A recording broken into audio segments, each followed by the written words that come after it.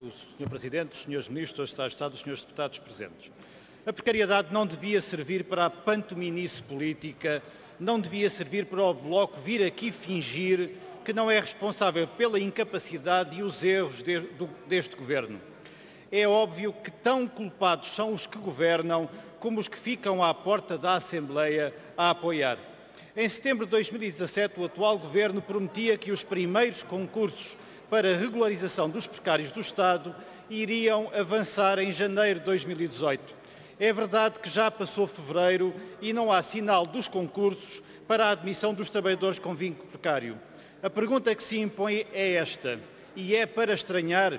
Se calhar não é, pois a maioria parlamentar de esquerda, em vez de se preocupar com as situações de precariedade verdadeira, em vez de resolver a situação dos que há anos satisfazem necessidades permanentes do Estado sem vínculo adequado, quis aproveitar a onda para ir mais longe.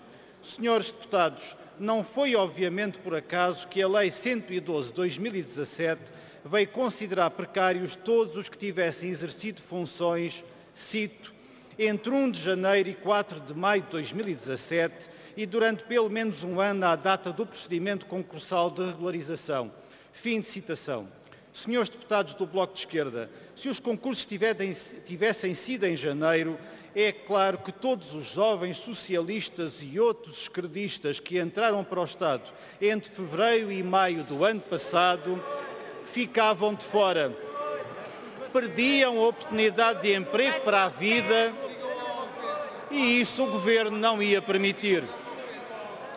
Senhor Ministro, faço-lhe assim as seguintes perguntas. Dos precários até agora identificados pelas comissões de avaliação, quantos é que entraram para o Estado já depois da posse deste Governo? Quantos precários entraram depois de 26 de novembro de 2015?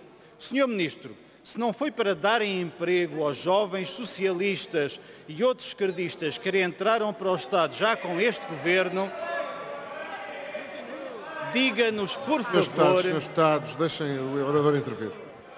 Senhor Ministro, diga-nos, por favor, expliquem ao país porque é que os senhores quiseram chamar precários e incluir neste processo os contratados até maio de 2017, maio do ano passado, pois é isso que está na lei que aprovaram.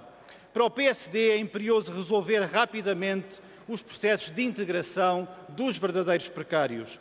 O PSD não aceita que este Governo esteja a brincar com as expectativas das pessoas. Consideramos, sobretudo, errado que o problema da precariedade seja usado como agência de emprego para jovens socialistas e outros esquerdistas. Senhor Ministro, Senhor Ministro, quando é que vão abrir os concursos? Quando é que os precários verdadeiros vão ver os seus processos regularizados? Disse.